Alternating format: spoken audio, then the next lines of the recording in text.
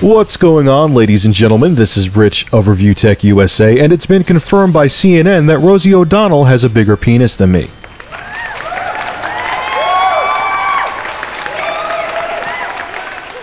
Today's topic is going to be an interesting one, and it's going to be interesting to see your take on it. And it always makes me laugh my ass off, literally, not the acronym. When people leave YouTube, from when partners leave YouTube saying there's too many obligations, to people who leave YouTube because they have a life epiphany, or when they meet a girl or a guy or whatever. I just always find it funny because all of their reasons are BS, and I'll explain what I mean. And before everyone jumps on me, yes, YouTube is just a hobby for me too. I have fun doing it. It does help pay a couple bills, but I don't take YouTube seriously. But let's start with the partners first that leave. The excuse that partners will give their sub base when they leave because they know the subscribers don't know any better is they'll say, oh, there's just YouTube has too many obligations to your partner, man. It's just not worth it. It's exhausting. I have way too many other things going on in my life. Fail instantly. And that's usually the excuse I see when partners bail out of YouTube. Because you want to know how many obligations a YouTube partner has? None. Zero. Zip. Jack shit. All you have to do is follow YouTube's guidelines and make sure you don't put a picture of your penis in your videos. Which is tempting sometimes, but I refrain. I mean, you could even take an 8 month hiatus from YouTube if you're a partner, come back and still be a partner. There's virtually no requirements when you're a partner that you have to meet. So you're probably saying, okay, Rich, why do they do it then? And I'll give an example. This guy on YouTube a while back got a partnership for his channel, which I was surprised because he had a very small sub base and he just started the channel, but whatever, that's not the point. Anyway, one day I sign on and I watch his newest video. And it's a video where he pretends to have a dream that he's making a terrorist threat towards America. And then he wakes up from the dream and says, or maybe it's real. Like he was actually threatening the United States with terrorism. Needless to say, people freaked out. The video got thumbs down to death. And like an hour after he put it up, it was taken down. And his channel was taken down, like instantly. By him, not by YouTube. and then the next day, all of a sudden, he sends me a message and he's like, Yeah, I got a new channel now. And the first video he has up is explaining himself and why he took down his partner channel. And he goes on to say, yeah, man, it, it, was just too much pressure from YouTube. Being a partner is a lot of work, and I have too much stuff going on in real life. And I'm like, dude, you made a stupid video. You got scared. You thought the feds were going to be onto you. You got paranoid, and you shut down the channel. There's no obligations to being a partner, man. The point being, for anyone who doesn't know, for my subs who don't know how partnership works, if any partner gives that excuse for shutting down their channel, call them out on BS because it means they just did something stupid or they got threatened and that's why they're running away. The second excuse that I love is when people shut down their channels, partners or not, when they say they have life obligations. Last time I checked, YouTube is free, so it's not costing you anything to keep your channel up and your videos up. You care to explain? Here's why I call BS on this. Like I just said a second ago, it doesn't cost anything to keep your channel up.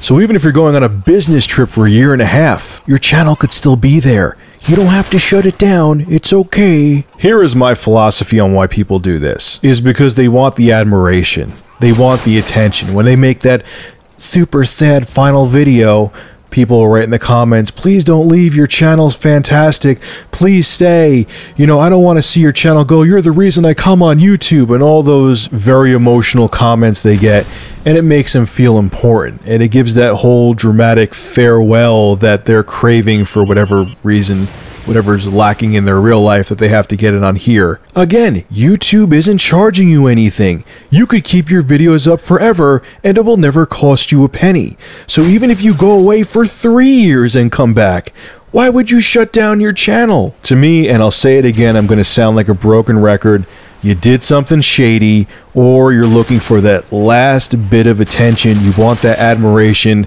as you step off the stage.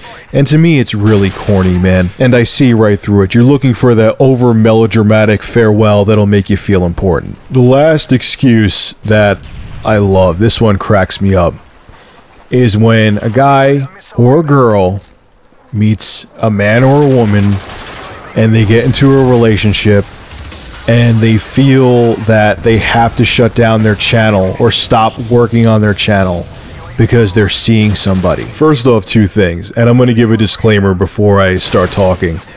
I'm not a pimp by any means. I'm not a super duper ladies man. But I will say at the same time, I have no problem getting dates. I have no problem meeting women. And when I have been single and when I have been with somebody, I still made YouTube videos. And if I was too busy to make videos, I would stop making them for a while. When people use seeing someone as an excuse to close down their channel or stop making YouTube videos, it tells me that they're very inexperienced with the opposite sex and they're super excited. It's a new toy for them to be with somebody and they don't know how to handle a relationship. Because I'll tell you right now, because this one guy, I won't mention his name, he just said the reason he's stopping making videos is because he has to put 150% into his relationship. I can tell, buddy, you haven't been in too many relationships, and I'll give you some advice if you're up each other's butts all the time, the relationship is going to be a fail. And secondly, this is the second point. If you see a woman or a guy and they tell you you have to stop making YouTube videos or stop your hobby, bail run quick. It's happened to me before too. Obviously, you have to know how to do time management and make sure you spend enough time with them and do your hobbies and do your other things. But if they just make you stop because they're jealous of what you're doing and they feel like they're being ignored and it starts from the get go, run quick. That's not an excuse either. Look, if you get into a relationship and you get busy, you start having kids or whatever, get married, fine. Keep your channel up and make a video once every two years. But again, it's not an excuse to shut down your channel. I call BS again. The bottom line is, and I'll end this video with this, no matter what anyone says on YouTube, there's no reason you have to shut down your channel. You're either shutting down your channel because you're running away from something, or you're shutting down your channel to get some kind of attention from people because they don't want to see you go.